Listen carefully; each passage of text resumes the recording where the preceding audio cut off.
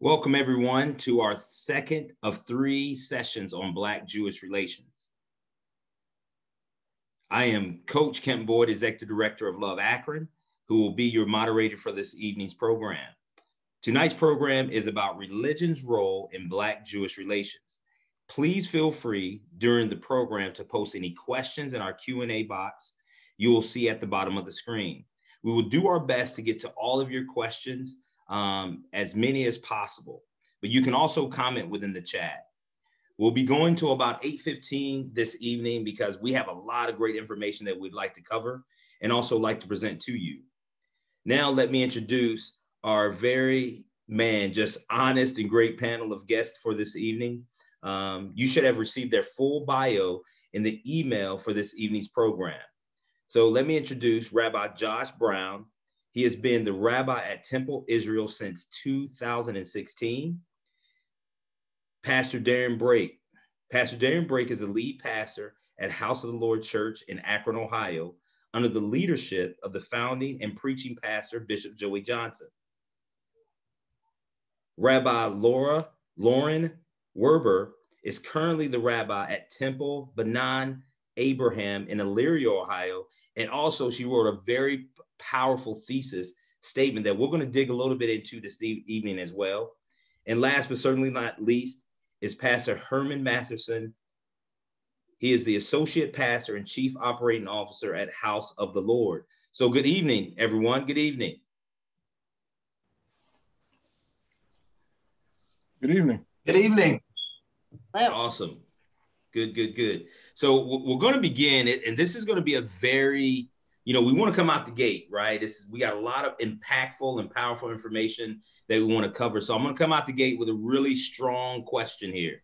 Um, it's one that's going to be probably highly provocative, and it's probably probably going to get a lot of chats um, and a lot of questions about this. So I just want to ask out the gate, and I want to hear an answer from everybody. You can't avoid this. Um, it is 7:07. So let me ask you: Have you had dinner yet? And if you have, what was it? Let's go, Pat, Pastor Darren Brake. Oh yeah, I, I'm ready. Um, yeah, I, I, did have dinner. Um, just finished it maybe about ten or fifteen minutes ago, and um, I, I, had a, um, a, a bacon um, cheeseburger, Big Mouth. Oh man! Um, from from Chili's. Come on, I love it. I love it. Love I needed it, I needed all the protein and carbs I could get uh, to be ready for this this panel discussion. awesome, awesome. Rabbi uh Wer- Rabbi Werber, what, what about you? I wish we were more exciting. We did have dinner. We had breaded sole, breaded fish, and smashed potatoes and veggies. Oh man, that's good. That's that's a lot better than what Pastor Brake had. So kudos to you. Kudos to you. Kudos to you. Pastor Pastor Herman, what, what, did did you already have dinner? And if you did, what'd you have? No, I haven't had dinner yet. I decided to, to fast before I did this, but at 816, I'm taking care of that. Come on now. I know that's right. I love it. Love it. Rabbi Brown, what about you? Well, uh, my wife and I did the uh, the the pizza handoff where she made the pizza. We sat down as a family for 15 minutes. We all ate our pizza, and right now, Netflix is babysitting my kids, and there's some chocolates that are waiting for them. If they do not interrupt us, they get the chocolates. So I can, you can be assured that we won't be interrupted. Hey, there you go, man. Great parenting tips for anybody that's out there. No judgment, Rabbi Brown. I'm with you. Absolutely. I'm, I'm with you. Um, so again, thank you all for your time, for being with us. It, it is dinner time, but at the same time, we're gonna we're gonna feast on this discussion and conversation on this evening. And I do want to come out with a very serious question that I want to ask each and every one of you. And, and I'm to start with you, Pastor um, Herman Matherson. Is can you tell our audience your why? And when I'm saying your why, I'm meaning why are you here? Why is this important for you to be a part of this panel? Uh, for, for a couple of reasons. Number one, for me, it's personally, it's unfinished business. And when I say unfinished business, where I grew up is a very vibrant civil rights town. And the Jewish community did reach out to us. In particular, when I was in high school, I wasn't focused on that. We had our own issues going on. Uh, secondarily, I'd like to be a part of acknowledging that the relationship between the African American community and the Jewish community does need to be rekindled. There's a legacy there that is important that I, th- I think needs to be rekindled. Mm, love that. Unfinished business. Love it, love it, love it. Um, Rabbi Brown, same question. Uh, so um, there are a lot of reasons. I, will uh, a brief uh, a brief story that stayed with me from a colleague uh, in Ferguson, uh, Missouri, who shared that um, when that community uh, was really suffering from uh, when when they were marching in the streets in Ferguson, he reached out to a, a, a leading black minister uh, and said, "We want to march with you." And the response he got uh, was, "You know, we wish you would have been here years ago." so I, I think I think that was a really honest response that we can't only show up in the moments of crisis, that we need to be together around tables and in discussion so that when the moments of crisis hit, we're not introducing ourselves to each other. Um, and I think this is our, uh, even though there are moments of crisis going on, that, that this is a chance to do that. Uh, so I, that's what I'm looking forward to. Awesome. Thank you so much. Thank you so much.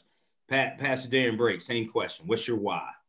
I'll give you, I can give you two. Um, one would be that this was a, a, a relationship that I knew from kind of a peripheral perspective that it existed um, at some point in time, just in my reading and being aware of, of Dr. King to a point. But I, I felt like I needed to know more because I felt like this was important um, and that I needed to dive in completely um, in this because it's important, but also for as a learning experience for myself but then also for the opportunity to build um, to build new relationships. Um, and you know, out of this came the amazing opportunity to to, to participate in Rabbi uh, Josh's Shabbat service, which was something that wouldn't have happened. Um, and I really just that that was a high honor for me just to be able to participate in something like that and begin to kind of start a uh, a friendship as a as a part of this. Okay, and Rabbi Werber, same, and, and you, you're probably a little bit more prepared because you actually wrote a thesis statement that I think may even play a role into your answer right now. I guess it, I guess that's what I could add since you brought it up because everybody said so much. Um, my rabbinical thesis was uh, because you, I guess I have to tell people now. My rabbinical thesis was on Southern rabbis preaching on civil rights in the 1950s and 1960s, and um, the sort of common wisdom is that Southerners were very quiet in their support, Southern Jews, of the civil rights movement. But the reality was these rabbis risked their lives and their families' lives and the safety of their buildings to speak up in cities all across the South. Um, and it's a reminder to me that we have that same obligation and that we have a very, very hard won and deep relationship with one another. Um, it's, it's sad to realize that we don't always in either of our communities realize the kinship that we have. Uh, that's a both uh, natural and in a spiritual sense, a natural kinship and a very powerful practical kinship. So if we want to work toward a more just world, which is really the purpose of our faiths, then the way to do that is to rekindle this relationship in the best ways we can. Mm appreciate the the honesty and and just your everybody's transparency in the answer because there's a common thread and a common theme of us being relational and really digging into the relationships and we know that relationships are not um, a lot of times we hear that word relationship and we think it's a very simple answer almost a throwaway answer but really relationships are very um, complex and complicated right um, just ask anybody that's married right it, it's it's a very complex um, thing. However, you know, as, as, we move forward, and I know we're going to get to kind of where do we go from here and what do we want to do, I want to take a moment to step back in reflection um, to June of 2020, right? And kind of the, you know, Pastor Darren Brake, you know, kind of the, you know, what was it like for you the days after the murder of George Floyd? What, what, what was that like for you being an African American male? First off, what, what was that like for you? Like it, you're wearing two roles, right? You're African American male, but also you're, you're, you're, you're a pastor who shepherds a group of people. So what was that day? What were days after? What was that like for you? It was interesting um, for a couple of different reasons. One, um, it was times filled a lot of sadness, um, having to explain it um, and have conversations with my 17 year old boy about it, um, as well as my, uh, at the time he was seven, uh, my seven year old, uh, about what was going on. And it was that, that parental aspect of it. Um, it was another aspect of, you know, maybe now, um, maybe this might be uh, the way that that people will start paying attention um, to what we've been saying for a long time since at that moment, you know, summertime quarantine, COVID numbers are, you know, spiking in many places that people are kind of forced to have to pay attention. And it almost seemed like it was a, a perfect storm. And at the same time, I had to, in the midst of my own, you know, anger, uh, it's kind of funny how things work. I was also getting some calls from uh, from some uh, white clergy uh, wanting to start to have some conversations and some dialogue um, and wanting to figure out, you know, we haven't done, you haven't played a part up until this point, and shame on us for that. But what can what can we do? How can we start having a relationship from this point forward? So there was a there was a lot of different conflicting um, feelings and emotions going on at that time for me. Yeah, thinking about you know on the on the flip side, right? Because that's if you will, yeah, that was a national tragedy, but obviously it hit us a little bit harder within the black community, right?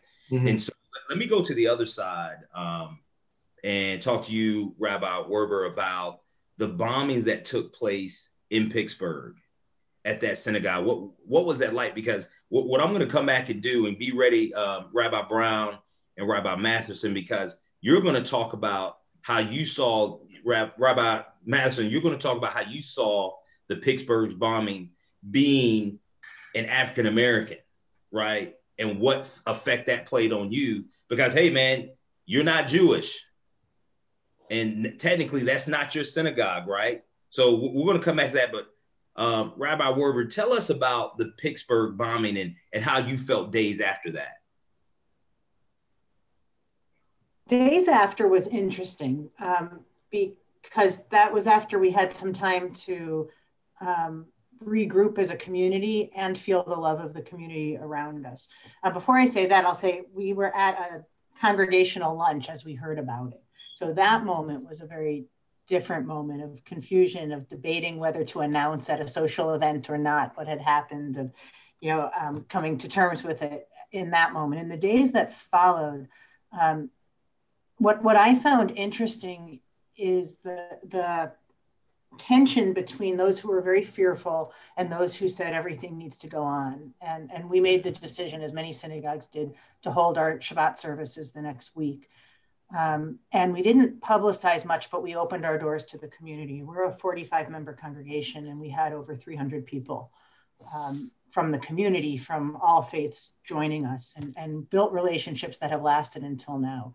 So it turned into this moment of empowerment and relationship building that we never expected. At the same time, as all of a sudden, um, we weren't just trying to be empathetic with other communities who faced violence and fear, and we were suddenly one of those communities again. And that was uh, sort of a rude awakening for us, I would say. Mm. Yeah.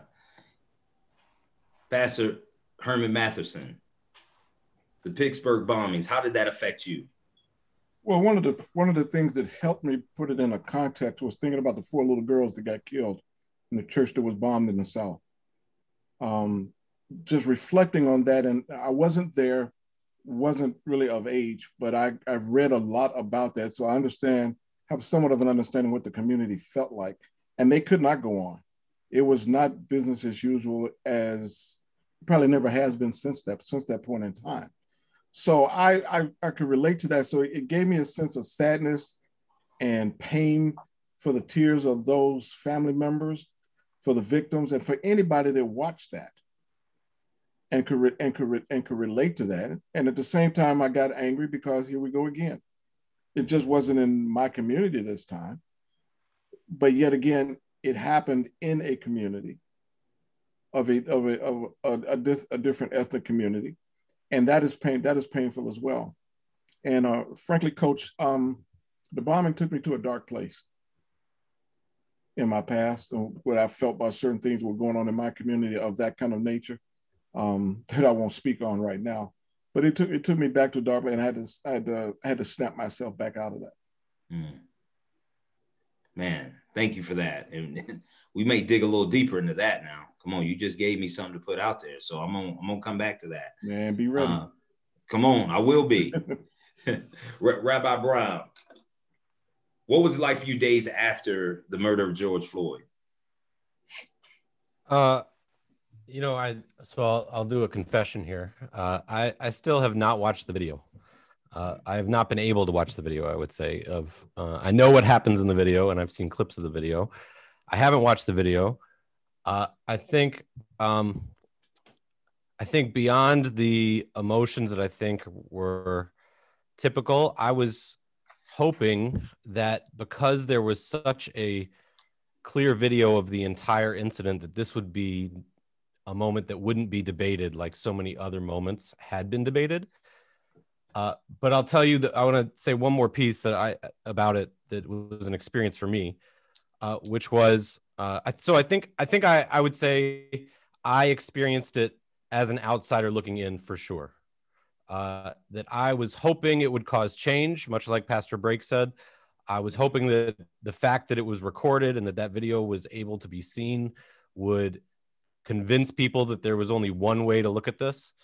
Um, but I didn't really get it until uh, until I sat down one night over the summer and uh, turned on uh, Dave Chappelle uh, doing stand up, what I thought was stand up, hmm. uh, because I wanted something funny to laugh at in our world. And he instead spoke about his experience watching those eight minutes and what that meant to him to to hear a black man talk bluntly about what it felt like for him to watch that uh, was uh, very uh, eye-opening. And that was that was when for me i think i was really the most um, impacted uh, by george floyd's murder uh, was to know the ripple effects of how it personally tore people apart knowing um, that that was going to impact their personal lives um, in ways that it didn't impact mine. That, that, was maybe my maybe that was my first moment of realizing what the difference is um, between myself and Pastor Matherson and and Pastor Brake, uh, looking at a man uh, who very well could be in their community in their pews, and me not thinking that way, um, and separating just a little bit uh, or a lot at times from it. Um, but hearing somebody talk about it and be passionate about it and explain how it impacted them uh, and humanize it that way was uh, would it really was a, had a huge impact on me. Thank you, um, Rabbi Werb. I want to ask you a question here. Why is it a thing, and do you believe it's a thing that people who look like you? Why is why is the discussion of race so uncomfortable? Do you believe it's uncomfortable? I do believe it's uncomfortable for a lot of people. Um, it's interesting because I'm fairly outspoken. If I'm speaking to an African American, I'll just ask a question or acknowledge your blackness. Mm. Um, and some of my peers question if that's impolite because there's a sense, right? If you're my age, you grew up in the age of color blindness and melting pot. So noticing is somehow um, inconsiderate. Where my perspective is that respectfully noticing is acknowledging someone's being, right? Absolutely. But, so, so people don't mean harm, but they don't want to overstep bounds, perhaps, and, and be offensive. Um, and, and I can speak more personally. I don't want to put words in other people's mouths. Sometimes we don't know what to do, right? So um, we see the enormity of a problem in, in the world and we don't know how to fix it. And we know that uh, people who look like us have created the problem and that we aren't, if, if we're honest with ourselves, we aren't, at, at best, we aren't enough of the solution. And just a little more honest, maybe we're just a little bit of the problem. Um, yeah. Or certainly those close to us are. So it's hard to reckon with that. Um, and I think it's just intimidation with the enormity of what we need to do and accomplish rather than that sense of, um, you know, faith is taking the first step. yeah. right? And and instead of saying I'm going to take a step, I'm going to talk to one person who's not like me. I'm going to ask one question. I'm going to do one thing. Uh, we can get really uncomfortable with with the size of the problem and with what we don't know. Yeah, absolutely. I want to go back to you right now, Pastor Mathis, because because Rabbi Werber said something that I that, that I know if I say this to my wife Stacy, I'm gonna be sleeping on the couch. Hmm. but if I come to her saying, "Hey, I want to fix this for you," right? Is is that is that something you as as a black man do you want white people to fix something for you? Just curious. Oh God, no. The the the relation the part of the problem is, and I, I want to pick up where Rabbi Lauren left off. The problem is perceived or or real authenticity. Are you coming to me to talk about racism so that you feel better, hmm. with little regard of how I feel when I'm trying to explain to you who I am? Further, I don't need you to be colorblind. I need you to see the color that I am, hmm. and and and acknowledge that. So I'm the, the, the blindness thing for me is kind of a misnomer in a sense that no, you need to see who I am uh, for what I am. Yeah. And that the fixing, if there is a fix, is going to be in the depth of authentic conversation about it. That you ask the tough question, you ask the raw question, you you make it uncomfortable. Um, you make it, you may even make it painful if you want, if one has, and then we all have to reflect on ourselves and how we dealt with one another. So it's is there to, to fix it, it means there, there's a recipe. And to do this, this, this, this, this, and then that will happen. And that is that's we don't even live like that. Mm. Um, would, so, sorry, I'm sorry, go ahead. Go ahead. But I, I would add to that, um, and I should have said that to start with. One of the reasons that I struggle is, and one of the reasons that it's not that the relationship was perfect and now it fell apart and it doesn't exist. There were mm-hmm. there was good and bad in the past, there's good and bad now. Sure. But one of the things that caused tension was some members of the Jewish community taking or wanting to take leadership roles in civil rights issues. Mm. And uh, the need for us as white people, and especially more so now as Jews, I think even than then, uh, because we're more white now than we were perceived to be then uh, we need to take the cues from you. And, and so we need to be marching if you want us marching, but marching behind you, not in front of you. Mm. Right. So, so you can't fix it alone because really it's not your problem. It's a white problem. Right. Racism is a white problem. It's not a black problem. So we have to be in there working, but we're not, we're not in the lead. We're, we're the ones that need to take the cue and listen to you and understand what you're trying to tell us. And that that's hard for people to do. That's an uncomfortable place to be. Yeah, I, like this is good because I've, I've heard that um, racism is a sin problem, but I ain't heard racism is a white problem. Like I, I like that. Like I'm sign me up for that. Like I'm I'm for being a white problem. It is. Rabbi Werber for saying that. Um, so with that being said, you know, uh, Pastor Darren Brake, it, is there out there because I think a little bit about what Pastor what Pastor Masson was saying and also Rabbi Werber was saying. Is there a white savior complex right now that we're living in? Um, I would say absolutely. Um, I, I, I, view it more as a paternal perspective, um, where it's almost like I know better than you, or I know what you need and you actually see that all across um, even in how charity is done not just even in race but even how charity is done um, in particular in our context of not of a sitting with um, let me experience life in your shoes. Let me experience life with you. Let me get to know you. Um, but more of a coming in and okay do this or do that and do this or do that. Um, so yeah i would i would say that is um, that is prevalent. Mm. Um, Rabbi Brown, you you invited Pastor Darren to do um, this Shabbat service with you. I want to say it's about a couple of weeks ago now. Um, how was that received by your synagogue, by your congregants? Uh, well, it's it uh, it's it's always exciting to have uh, a guest.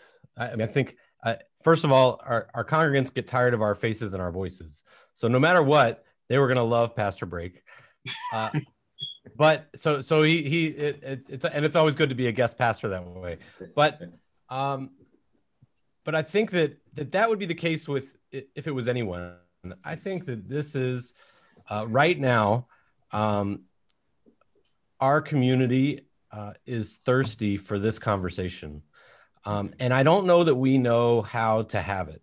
I, I and I, I, think that's a global we. I don't think any of us know exactly how to have the conversation. I think we're just we're just jumping in and saying we're going to try, um, and we're going to and by trying we hope we will have progress somewhere. Um, and I, I think that that's the feeling I've heard that from so many people, especially after George Floyd. Uh, I think that that may have been the um, the the moment where uh, people who had been thinking about it for a long time finally opened up their mouths and said, "No, now uh, I've been thinking about this and not saying anything for for too long. Now I've got to say something, and I want to do something, but I don't. We we heard from so many people. Uh, I don't know what to do. I want to do something, but I don't know what to do. Um, and so to have uh, Pastor Brake sit in our sanctuary virtually, uh, and to to to by that by doing that uh, as we are tonight to come into our homes i think it was in some ways uh, prayers being answered for a lot of people uh, that this is how we can start doing this uh, that it doesn't have to be um, impossible. It it means reaching out to people who live right in our city who who in lots of ways are just like us and and have values like ours and have lives like ours. Uh, it, we don't have to reach across the country um, we we have this in our own community, and we can do that uh, in places like our own homes and our own synagogues and churches. Um, and so I, I, think that there was a huge sigh of relief that we finally got to do something we've been waiting to do. Thank you for that. Um, I'm going to come back to you, Pastor Masterson, because I don't want to let this go. Um, because we are in uh, an atmosphere where we are relationship building, and so um, culturally, I'm from the South. And so, yes, sir, no, sir, yes, ma'am, no, ma'am was a part of my vocabulary. And so, when I hear you say something took you to a dark place because of what it triggered, and, and these are more of mental health type of terms, right? Things trigger us because there's trauma and then there's secondhand trauma. So I, I want to kind of give you, if you will, the platform. I want you to speak into that a little bit for our panelists, but also for our audience that is listening. I, I want them to be able to hear because um, I, I'm not going to say that you're older, but you're an elder. And so, with that being said, your experiences haven't been mine, but I think as a Black man, knowing that this is Black History Month, I need to hear from my elder about where some of these things took you mentally, but also what what it triggered in your past experiences. Well, I'm from the South as well and uh, and where I'm from, there was a there was a lot of violence, a lot of violence. I, I remember I can I remember the National Guard coming down the street with tanks, and shooting into the dormitories of the HBCU that is there. I saw people I saw people killed. Um, I saw man's inhumanity to man, mm. and that that that festered in me, that grew into me into an anger that I I don't think I can adequately describe, but it was a possessive anger. And it was actually an anger that for a while that I actually nurtured. Um, uh, and it wasn't be- and it wasn't because I didn't have I had some wonderful teachers that were white. I had some that sent me on a career, but when I saw those kind of things, I, it became I became very jaded. And when I saw the when I saw the Pittsburgh bombing, when I saw the George Floyd and all the other incidences, um, the fear in me, the fear, my, the fear I felt was primarily for my sons, who I could not put my hands on at the time. They live out of state, and that took me. Said it took me to an if then. If that was them, what would I do? Mm. And that trail is very. That trail was very dark, and I remember having been there, and only because I remembered it was I able to snap out of it um, because then I could I was I was very um, um, um, what would I call it? I was very like I said jaded, And the parad- the paradox was, and my dad would laugh at me for a while because I was like that. I went to a primarily white university. And when I told him, he said, Really? That's where you're gonna go? I said, They gave me money. it, it was I didn't have to pray about it. It wasn't that didn't spiritualize way, they gave me money. So the dark the darkness was, and I learned a lot. I learned a lot while, while I was in college and dealing with um, uh, with other ethnicities, and that's where I began to regret not engaging the Jewish community where I grew up, because I did do that in college, mm. and I felt like I missed I missed something in our God. So that's a piece of my unfin- unfinished business. But the darkness, the darkness was an anger and a rage that it that it that it took me to, and um, it sometimes it's I scare myself. Mm because what what what pray tell am I going to do with that but for the grace of God? Yeah. Thank you for that. And again, I know I'm supposed to be moderating and doing all this stuff, but anybody, you know, whether it's you, Pastor Darren, you, Rabbi Brown, or you, Rabbi Werber, hearing that, what, what can you speak in? Do you have any questions for Pastor Matthew in that regard? Because hey, this is us about us building relationships with one another. Yeah, we got an audience that's listening, but we have to show the example of relationship. And to your point, um, Rabbi Werber, of how to lean into these discussions and conversations. So I, I, want I want us to lean into that with Pastor Matherson. I saw you, Rabbi Brown, kind of unmute yourself. So lean in, brother. So I, am gonna I want to hit on some of what we've you've you've already asked, but it, it strikes me that the hardest moment for me after uh, the murders in Pittsburgh was uh, walking with my about a month later i want to say uh, i was walking with my kids um, and we were somewhere in public and there was a little tv screen and the news was playing and it was showing the synagogue being shot up mm. uh, and i had to take them out of the room because i didn't want them to see that uh, and i think for me the reason i want to bring that moment up is I think what I've started to feel after George Floyd and all these other images have, uh, they're always in the news. So that was one image. I didn't want my Jewish kids seeing a synagogue. We have such a hard time just selling the idea that a synagogue belongs in America when there's a church on every corner and, and trying to let them have a Jewish identity that's positive. I didn't want them to see a synagogue being shot at and people being murdered in a place that we've tried to get them to love.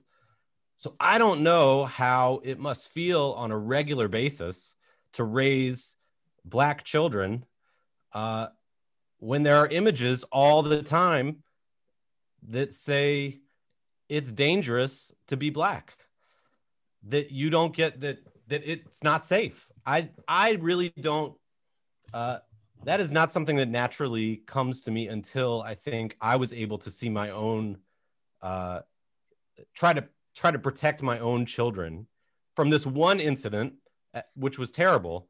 But then I look back and I think it, there's been one, uh, you know, a handful of terrible anti-Semitic attacks, especially over the last few years. Uh, but how often do we look on TV and hear about yet another uh, black man, uh, and that image is up for weeks? uh, that that if it was my children, I don't know if I'd be covering their eyes from seeing the news.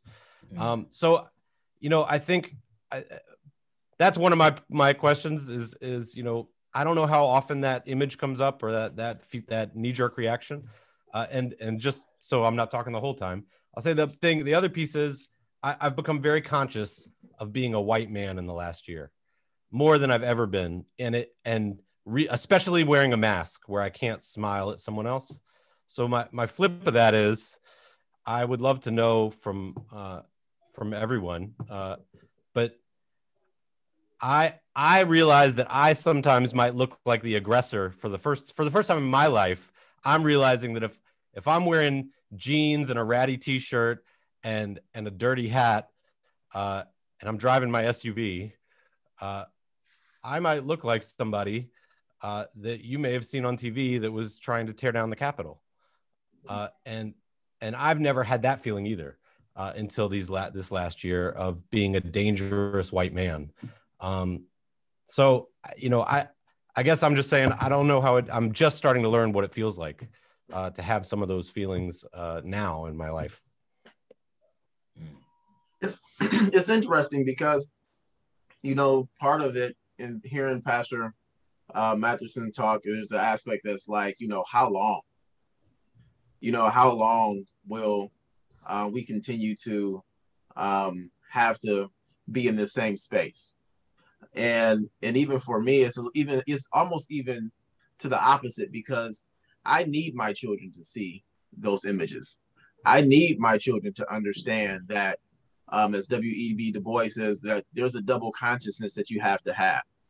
Um, as as a as a black man um, in america you have to not only be aware of you have to stay aware of it because that may cost you your life if you don't but then you also have to be aware of how that may how that may make other people feel and how you may have to do other things above and beyond just to make other people feel comfortable um, in the same space with you. Yeah. Um, so it's a completely different because, especially for me, I have three sons. Um, you know, they're and they're all over. They're 17, 8, and 13 months. And, you know, and I have to approach all of them with that. They need to be aware of that. So as a as a father raising boys in America, where even just um, being a black male is considered a weapon, um, they need to understand that. But you have to do it in a way that you have to always kind of keep love in there because you you can there's a balance like you can go too far um, in that so you have to make them be aware but you have to kind of even couch that in love and and and, and values that uh, are above what uh, society is trying to place on them, if that makes sense. Um, I first want to thank both of you for speaking so honestly with us. Um, Pastor Matherson, it's hard to speak about anger and rage, I think. I, I, can't say for you, I can say for me, it's hard to open up about those things. And I appreciate you doing that. Um, I knew what I wanted to say. And then Pastor Brake, you brought up this how long, and it just brought me back to the 50s and 60s, to these sermons I studied. And these rabbis are sitting in their southern towns and they're preaching and saying, people want us, are, promoting gradualness. And gradualness is a sin when this has been going on for so long. We can't be gradual anymore. This has to change. And to think that that was said 50, 60 years ago is heartbreaking. That that long ago in conservative towns in the South, people said it's been too long, and we haven't figured this out. Um, but the other, the, that's not even what I wanted to talk about, but it, it was just, it, it's so upsetting when I when we think when I think about that. Um, one of my college professors spoke to my congregation recently. He was a favorite professor, and he wrote a book on unsettling empathy. He said it's he he does work um, in trauma and reconciliation. And he said, empathy is not enough, it has to unsettle us. So, um, unsettling empathy means we listen to Rabbi Brown talk about being a white man.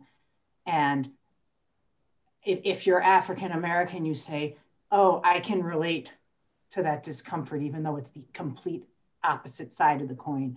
And we listen to Pastor Matherson talk about this rage, and we say, we're uncomfortable as white people um, being a part of that story, but we can relate to the rage. And, and we have to go into those places if we want to make progress. Um, one more quick thing is uh, there was recently an article in the uh, forward in a database of monuments, statues in the, all over the world that are statues to Nazi collaborators. And two of these statues are located within a few miles, a few minutes of my synagogue. So the person who wrote the article asked if I or someone in the congregation would go and photograph these monuments to, to a Nazi collaborator. And my husband and I went and did this for him. I was not prepared for my reaction and the the the the the, the sadness, the the anger, uh, the sense of injustice that this was standing there, the questions I had about they're outside of churches, why churches would keep these standing and do they know what it is and what does that mean they think of me? And I had this moment of, you know, obviously thinking about these Civil War monuments in our country that that these poor black college students are walking by to go to their classes.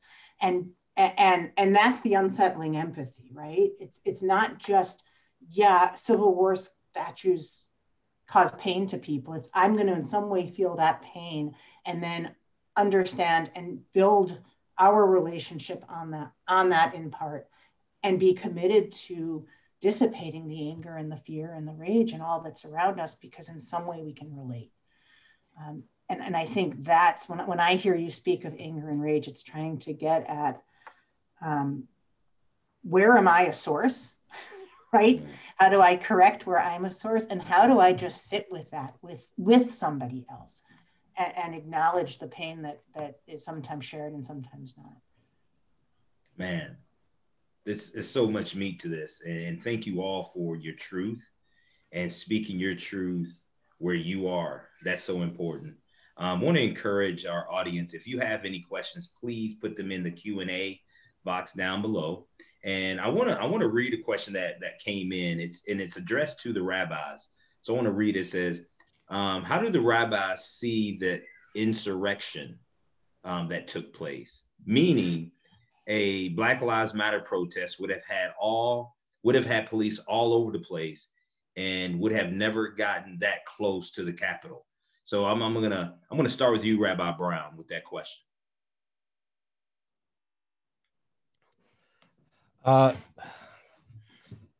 I continue to ask myself uh, how and who let did not uh, the the I think a lot of people said I know I know I repeated it from other people saying it. Uh, we were shocked that day, but we were not surprised. Mm. There, there, was no excuse uh, not to have uh, the Capitol protected and the people uh, arrested on the spot because we all knew it was coming. Uh, so I want to know what I keep asking myself is so who who was in the room making decisions in the days leading up to that and who was right there at the fence letting this escalate um, seemingly without any response um, and and part of me is cynical about that, I guess, and and I hope that my cynicism isn't correct, but my the, the cynical side of me says it was people who sympathized with the people who were there and felt that it was okay for Pete that, that they saw this as an expression of people's rights to protest the government and that this was somehow okay and that when they see that coming from someone that they don't see uh, who looks like themselves i don't want to just say uh, of color but because because i think today it, it's also politics. When they see somebody carrying a flag that they disagree with uh, meaning a black lives matter flag or a you know some sort of allegiance to a, a, a cause that they disagree with um, I think that that that is what is has become our unfortunate litmus test. Um, and I want to know who and why uh, that was what happened that day, instead of uh, instead of upholding the the values and the the Constitution and the sense of being an American uh, for everyone. Uh, and and I just I I'm still dumbfounded by it uh, and and the but I, will hold out this one piece of hope is that that I have from it is that, um, you know, I, I hope that that people continue to get prosecuted in a serious way, uh, and that we and that that is as public as the destruction that they did. That we see that people from videos on cell phones, and and I hope that we get to see that even if the justice takes months or years to happen, that that justice somehow uh, does come out of this. Um, and and yeah, I, I think it's uh, my short answer after my long answer now would be it's just it's just unjust. The the the comparison between that and these other marches that we've had Uh, we all know the examples. Um, it's absurd. Uh, and I know we have felt that as Jews at times, especially regarding Israel. That's a common concern that we have is that Israel is treated different than other countries. Uh, and and I think that it was it was just to try and relate our stories in some ways that that was also a response that I think we came out of this saying this is so clearly a different response to such a more violent act than we've seen in other parts of our country when there were peaceful protests and people were arrested immediately or beaten. Um, that it was just clear, uh, clearly unjust, unfair, and I don't know. I want to know who and why. Thank you. Rabbi Werber, do you have anything to add? Um, well said. I'll add just a little bit. Um, my first response was anger, and I think, yeah, surprised but not shocked. Um, but it switched to heartbreak pretty quickly, and um, because I am very aware of white privilege. I, I'm very aware. I thought of white privilege, of systemic racism. I would never deny these things. I um, say it's going on. I try to be an ally in any way I can. And then when when the insurrection occurred and it was a thousand times more in our face than I had wanted to see. It was like the the deepest level of, of seeing that privilege and seeing systemic racism and seeing just individual racism. You know, it, so so it was just heartbreaking to see. Um, there was an interview on NPR in This American Life with a black Capitol Police officer, and I think that's when it really um, hit me. I was riding my bike and listening, and um, it, it, how in danger this man's life was because he was a black man, and the things that were said to him as he was doing his job, uh, which uh, not everybody was doing that day, um, were heartbreaking. And, and I think the, the only um, positive of it, and certainly not a worthwhile positive, is how many people could no longer deny this. Yeah. Right? That it was so clear and so in our faces that this double standard is even more extreme than we could have imagined. Absolutely. This next question is for the pastors, um, Pastor Matherson and Pastor Brake. How do you find and experience love in this country that has been treating Black people so poorly for so long? And that is understandably so painful for you personally. Personally. Can you read that one more time? Yes. How do you find and experience love in this country that has been treating Black people so poorly for so long? I'll jump out there. I think it comes in the um in these islands of hope experiences. Um, it comes in a lot of the one-off experiences where um, there is love felt at an individual level um, when interacting with someone that isn't like me. Um, it is not is is different in terms of a systemic interaction, but I do find that in in these one-off um, islands of hope, in these one-off interactions with people who are authentic, um, and and and transparent, and interact and loving, interacting with me.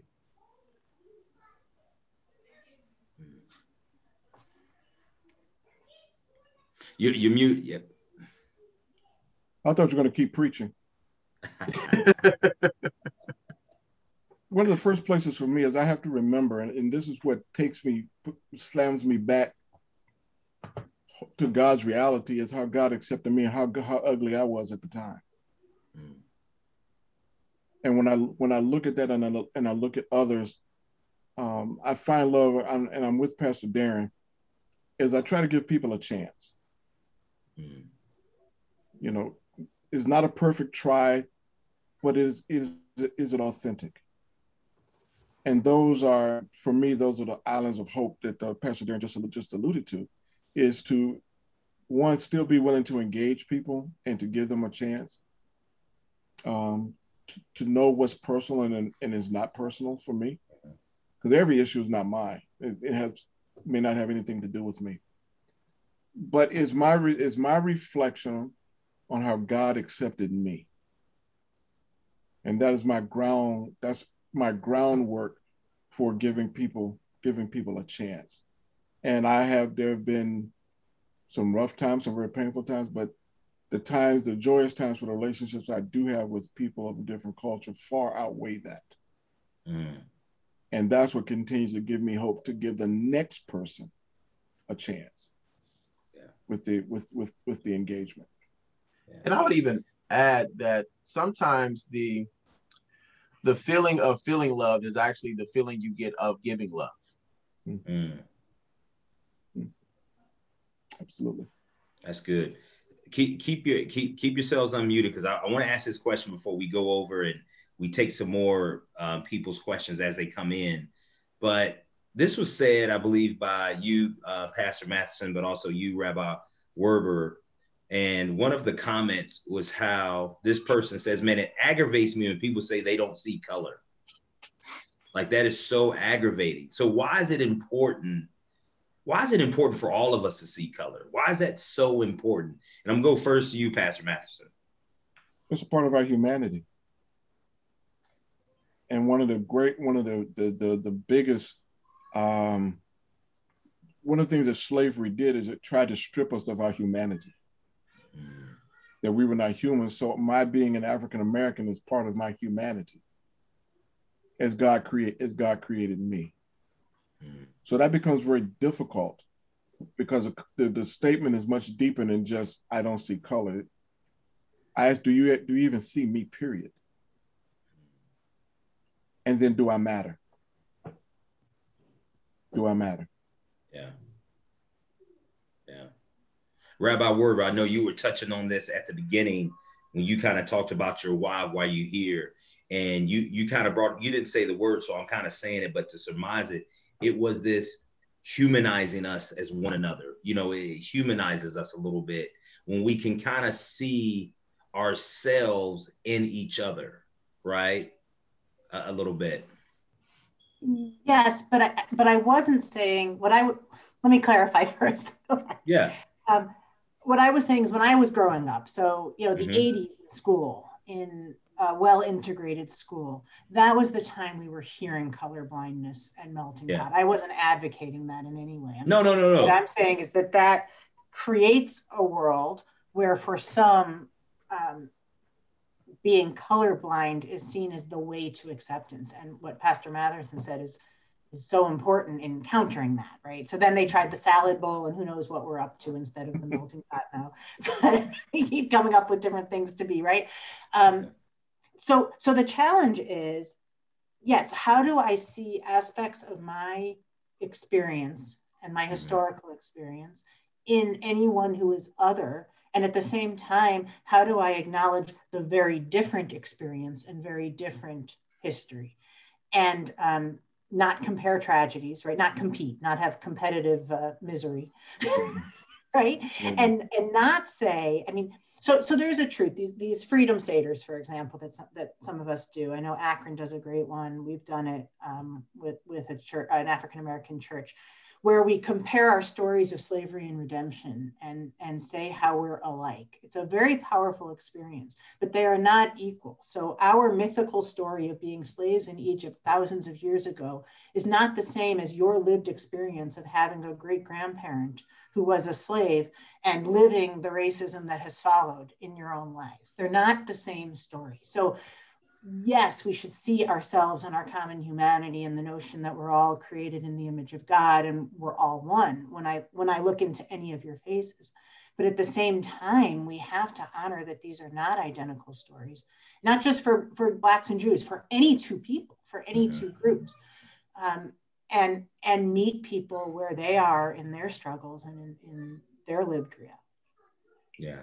And so, uh, and good, I, wasn't saying that you was advocating for it. I know that's what you grew up with in the 80s. Um, however, I, I, heard someone tell me this two months ago that they don't see color. And this is 20, 2020. And somebody said, I Oh, I don't see color. Yeah, yeah. And, and they said, I don't see color. And and I, and I believe I understand it. And it goes back to intention versus impact, right?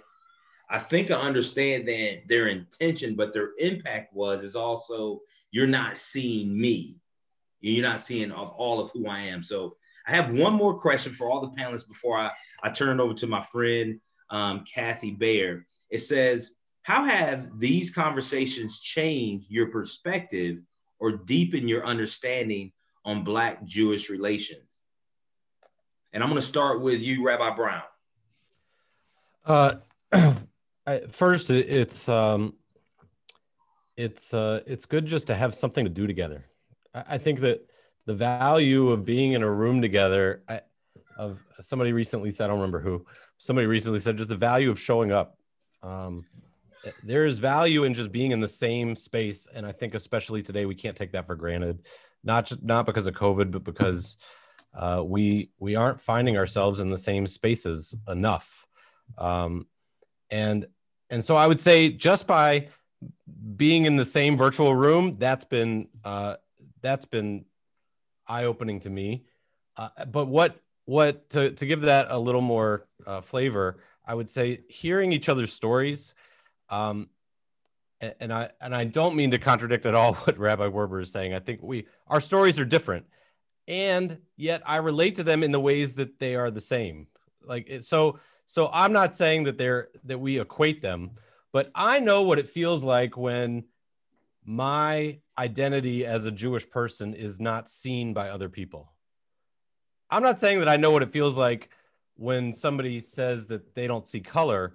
I I, I don't want to equate the two, but I can sympathize in a way because I know what it feels like when I've had to try to explain that my identity as a Jewish person is something that should be noticed.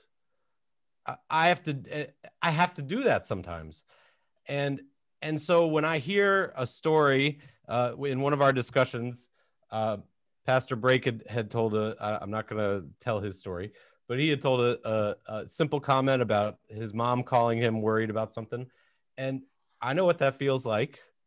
Uh, so I, I may not know what it feels like around the same issues, um, but I can. It opens my eyes up um, and I just I think uh, one of the um, one of the lessons that I, I hold tightly to from uh, rabbinical school is uh, try to uh, seek to understand more than you seek to be understood.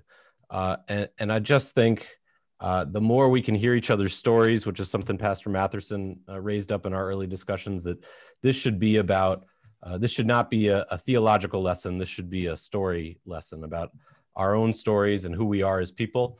I think the more we learn about that, the more theological we get, um, because we really we start to see ourselves uh, connected to other people, and once we do that, uh, I think we know what to do without being told. So I think I think that happens, and and that's been one of the great great things about being in the room together. Pastor Brake, same same question. I want to add okay. this this caveat at the end. Okay. What steps should we take beyond this conversation? Okay. The first question is I'll deal with is I, I will go, you know, kind of piggyback on uh, Rabbi Josh's comment about just being in the room, um, about experiencing how um, passionate Kathy is about pulling all this together. Um, sitting in a room and hearing um, how how um, what's the word I'm looking for? How um, how quick and intelligent uh, Rabbi Werber's comments are, and how she picks up on details of comments that are said, and she has a way of articulating things. It's like, oh wow, that is really good. You know what I mean? Or mm-hmm. when me and Rabbi Josh and we got on a Zoom and we were planning the uh, the Shabbat service, and just the, the the 20 minutes that we just talked about uh, being, you know, leading congregations and being in similar spaces in life. And, um, you know, certain times of the day you don't have meetings uh, because then you're in debt to your wife because uh, you've encroached on and all those kind of, con- and just those have been, you know, really the valuable things um, for me that, that I will, um, that I will take away from this. And I think that leads into the, uh, into the, the second part of your question for me, which is, um, that those interactions don't have to end. Um, those experiences don't have to end. And for me, I think that is the that is the next step. Um, is for for me is to continue those those interactions. Mm. Okay, I'm I'm I'm really up against it. So Rabbi Werber, real quick, if you have anything to add, if not, that's fine. And Pastor Matherson. Rabbi, I would Rabbi just say um, conversations like this remind us we can't turn away because once it's a friend, you, you don't have a choice but to help. Um, I would say moving forward, I'm trying to be quick, moving forward, um, I think we have to, as two communities, find ways to have fun and relax together and celebrate together and just be regular people together. But then we also have to find a way to get pretty comfortable with discomfort and have the conversations and look into ourselves uh, and find a way to make change in the world together. All right, real quickly, I think these conversations are, are endemic of that we have more in common than we have in difference. Mm. And to highlight what we have in common and to realize that we we do have much in common. One of the things we have in common as an African American community, Jewish community, we have we have pain. And it does not need to be compared or, or competitive, but it but it is there. So one of the next steps as I look at this, uh, picking up on what everybody else said, let's share a meal let's get in each other's let's get in, in invite each other into their space preferably we can do that sooner than later more so than more so than virtually. But we get into each other's space we get close to each other we share space and uh, learn more about each other on a very on a very personal eyeball to eyeball heart to heart level. Thank you so much. I want to turn it over to my friend kathy bear. She has a couple of questions for the panelists that she would like to share at this time. Okay, this question comes from Rebecca and Darlene, and it says Since the global rise of anti Semitism and denial of the Holocaust and BDS, how would the pastors say they would engage, encourage, and support the Jewish community in Israel?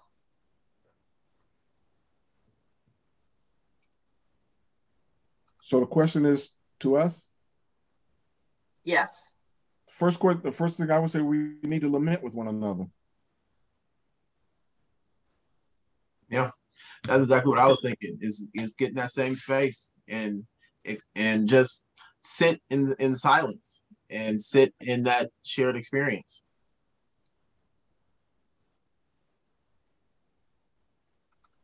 Okay, I think we'll take one more. And um, and and maybe this is a, a longer one that I should ask. How would you compare the Black Lives Matter movement to the civil rights movement in the 60s? To anyone? I'll try and give my colleagues time to to come up with a better answer than mine by just giving a quick answer. I think I think one of the one of the I don't know enough about the details of the civil rights movement um, of the '60s to truly compare it, uh, at least not academically. Uh, but I would I think one of the one of the things that we've watched be successful, I would actually pull in the the Pride movement in the LGBTQ community as an example is that that organization and um, building collective power across uh, different communities has an impact, and that impact can be long lasting. Uh, so we watched, we, we've watched uh, marriage equality um, get built over decades and and have a broad base. I, you know, is Black Lives Matter?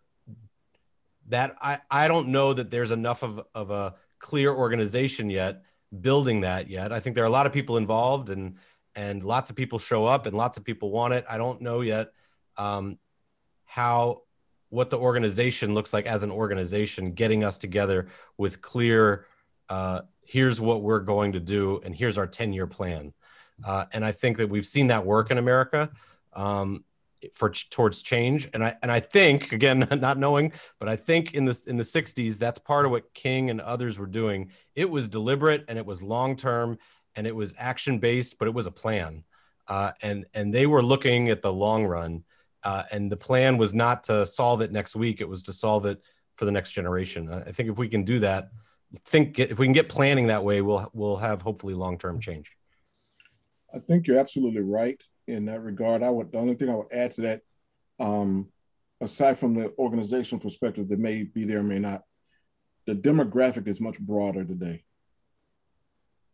it is much broader. You look, you just look out over the crowd and the the, the different ethnicities, the different, um, uh, yeah, the different ethnicities, the people from different countries. You look at that, and it's, it is much broader, if you will, than it was uh, than it was back in the '60s. But I agree with you about the organizational piece. Yeah, and I would even jump on and piggyback on that a bit. And I think, I think its strength is in how diverse it is. Um, because the civil rights, a lot of the organizing was around specific laws. It was around, you know, busing. It was around, you know, segregation. It was around very specific targeted laws where now the marching is against racism, um, which is which is a very different scenario um, when there's very specific uh, legislation that you're pushing for versus a, a, a protest against a whole system um, that in many ways is an ideology in and of itself. Um, it, it, makes it a very more, it makes it a lot, a lot of different challenges in that. And It is going to need that broad base of support. Yeah.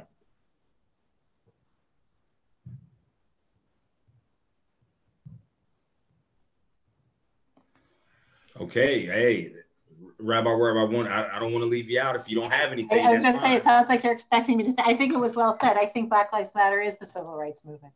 Yeah. Um, I mean, people's lives. What's what's more civil rights than your lives? Mm. Yeah. Um, and we can talk about what's the same and what's different, but it is the civil rights movement today, and mm. um, the repercussions are are just as important.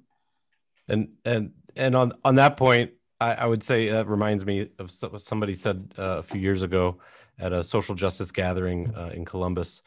Uh, they said people often ask, uh, I wonder what I would have done if I was uh, an adult during the civil rights movement. And her response is, ask yourself what you're doing now, and you'll know the answer to what you would have done. So I, I, th- I think Rabbi Werber's right to say, uh, you know, this is this is now, and and uh, and for us to to ask ourselves, where do I fit into this, and how do I help it move forward? um, given that it looks different and and is different and uh, and yet uh, it'll answer our question about what we would have done in generations prior uh, too. Man, well, hey, that, that that's gonna man, we're gonna kind of put a bow on it right there. So I want to just thank each and every one of you for your time um, tonight and bringing your best self and bringing your truth and giving us the insights that you have thank you so much as panelists for just speaking um, and also speaking into one another, but also speaking into us as well. And I want to thank our listening audience that has been out there and the questions that you have presented that, man, cause us to dig a little bit deeper um, and also cause us to, man, to challenge ourselves and say, hey, what are we going to do now? What are our next steps? And some of those next steps were mentioned um, throughout this, this discussion today. Um, just want you to know as well for all of our audience, there will be a survey mailed, emailed out right after the end of the program. And I hope you will take a few minutes to answer just a few questions about this program on this evening. We really appreciate your feedback so that we can continue to move forward together. And again, this is just the the third installment of what's going to be continue to go on throughout the course of this month, which is Black History Month. So happy Black History Month to all of us that are out there. And so the next next Thursday, February 18th. This is an interactive session where we get to hear from you about what our next steps will be. You will be placed in small breakout rooms where you will share your ideas. So, hey, you've been listening, you've been a part, you've been coming. Now we're going to give you the platform or the podium, if you will, to really share your thoughts and ideas about what about what we can do moving forward. Um, and so that's going to be great for us to do that. And so to continue to build on these relationships and to expand into Akron community these discussions that we're having. So again, um, I am Coach Kemp, the executive director of Love Akron, and how we try to end all of our shows. Um, if you don't do anything else, make sure that you love Akron. Again, thank you all so much. Have a great evening. Pastor Matherson, please go eat, brother. You've done a great job. You're On ready. Thank you, everybody. Thank you.